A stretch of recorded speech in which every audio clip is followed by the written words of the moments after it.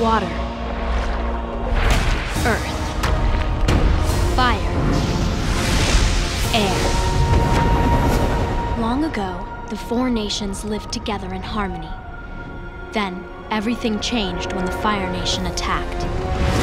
Only the Avatar, master of all four elements, could stop them.